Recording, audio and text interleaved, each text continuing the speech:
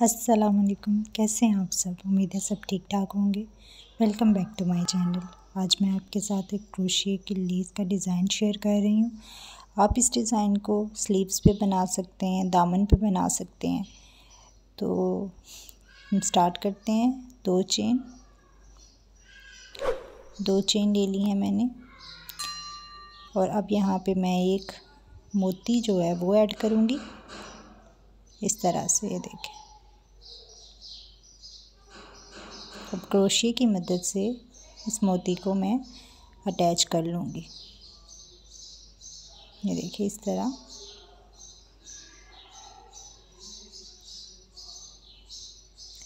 यहाँ पे मैं सिंगल क्रोशिए ले रही हूँ। तो ये हाथ से बने हुए डिज़ाइन बहुत खूबसूरत लगते हैं। ये मैंने सिंगल क्रोशिए लिया है। अगर आप भी बनाना चाहते हैं तो बहुत आसान होते हैं, बहुत सिंपल होते हैं। तो आप वीडियो को एंड तक देखा करें ताकि आपको डिज़ाइन की अच्छे से समझ आ जाए। ये मैं दूसरा सिंगल क्रोशिया ले रही हूँ। इसके बाद मैं थर्ड टाइम सिंगल क्रोशिया लूँगी। इस तरह से दो में से गुजारा और फिर दो में से। ये देखें। अब इसी पॉइंट से चेन स्टार्ट करूँगी। वन टू दो चेन ले लें और दोबारा से मैं इसमें मोती को ऐड कर लूँगी। ये बड़ा खूबसूरत सा सिंपल सा डिज़ाइन बनेगा। तो ये देखें, इस तरह से अब मैं सिंगल क्रोशिया लूँगी। जिस पॉइंट से मैंने स्टार्ट किया था, ये देखें, उसी पॉइंट से मैं सिंगल क्रोशिया निकालूँगी। ये देखें की मदद से मैंने धागे को अंदर की तरफ़ खींच लिया। फिर दो में से निकाला और दोबारा लास्ट वाले दो में से दोबारा से सिंगल क्रोशिए ये देखें ये मैंने दूसरा सिंगल क्रोशिए ले लिया और ये तीसरा। तो आप वीडियो को एंड तक लाजमी देखा करें, जो चैनल पर नहीं है चैनल को सब्सक्राइब करें, वीडियो अच्छी लगे तो इसे शेयर लाजमी कर दिया करें। तो इसी तरह से मैंने आगे डिज़ाइन को बनाना है। तो इसे पूरा करते हैं।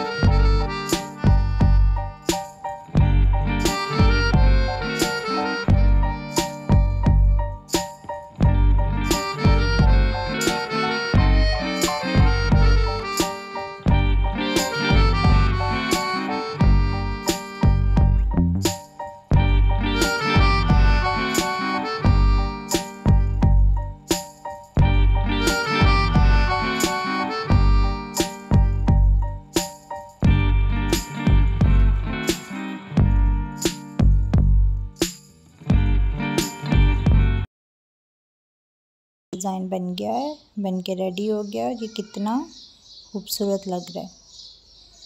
तो आप इसे अगर स्लीव पर बनाते हैं दामन पे बनाते हैं स्पेशली बच्चों की फ्रॉक्स पे ये बहुत प्यारा लगता है स्लीवलेस बाजुओं के ऊपर अगर हम लगाएँ तो ये बड़े खूबसूरत से लगते हैं। कोई मोती ऐड कर लें तो ये देखें, अब मैं इसे इस पॉइंट से स्लिप नॉट लगा के जोड़ लूँगी।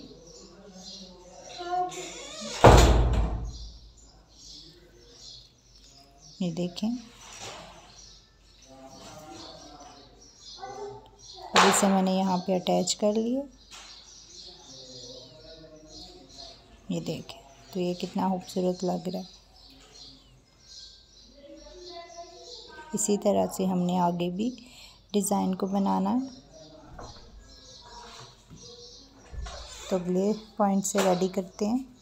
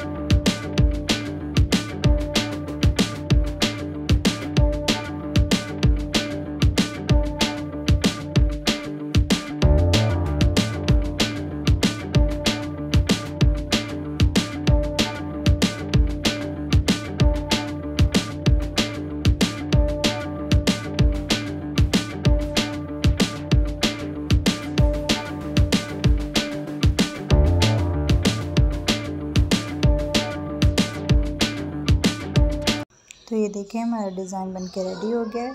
तो वीडियो को लाइक कर